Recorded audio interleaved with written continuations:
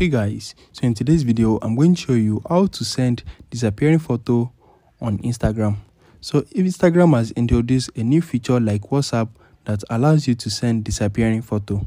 So in order for you to get this open your app store or your play store and you need to search for instagram.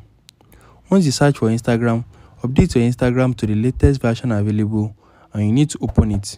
So make sure it is updated. Once you open it head over to your chat and you need to select one of your chats once you select it click on this photo icon right here. Don't click on gallery icon. Once click on photo you can just snap something or just click on this place to upload photo from your gallery. So just select the photo or the video. And once you select it you are going to see this option right here. So click on it again and you need to click on it once again just keep clicking on it till you see the view once option. So this view once send it as disappearing photo. So once they open it once they won't be able to open it again. So just click on send and they'll be able to view it just once.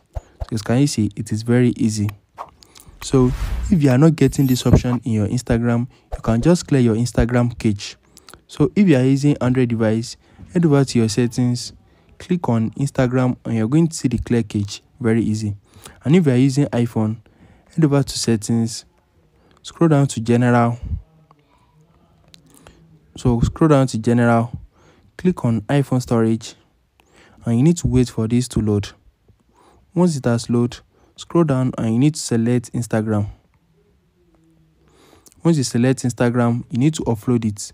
So note that the uploading process is going to keep your documents and data so you don't need to worry about that just upload it and reinstall it to your device and it's going to clear the cache for you.